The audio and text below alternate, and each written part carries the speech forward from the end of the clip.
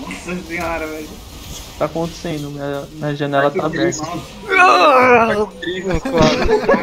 me gostoso. Foi isso.